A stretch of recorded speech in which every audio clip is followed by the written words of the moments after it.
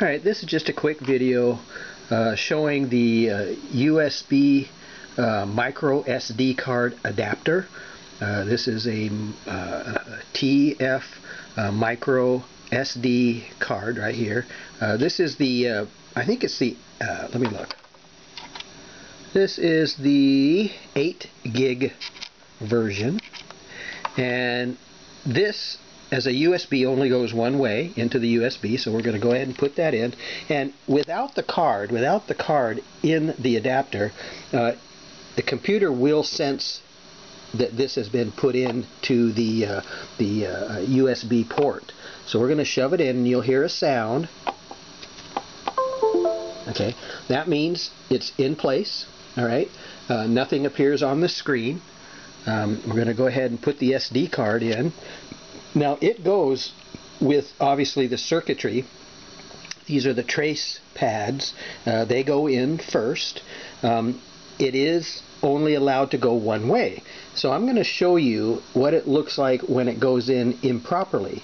Now there's a little notch right here on the side, right here on the notch on the side that detects which direction, you know, uh, this way or this way, and it will actually stop okay? So you can see here that as I try to push it in I'm not forcing it. I just kind of push it in and it wants to hit that little notch right there because there's a, a, a trigger that allow that locks it okay? So it won't go in alright so we're gonna go ahead and take it out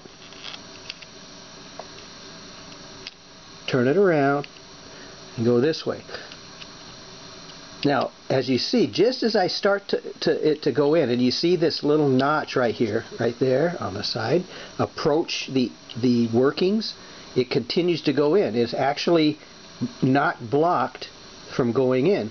So you push it in just enough, just like that. Okay. So now on the screen, there's the uh, there's the file. So you pull it out,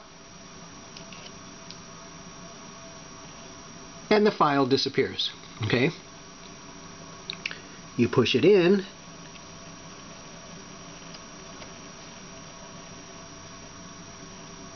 and the file appears.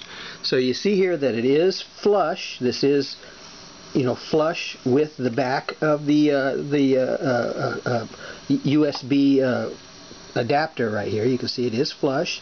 It is horizontal. Okay, so that's the proper way, and of course it wouldn't show this file if it wasn't proper. So that's just to let you know how it works and that it is working, and happy printing.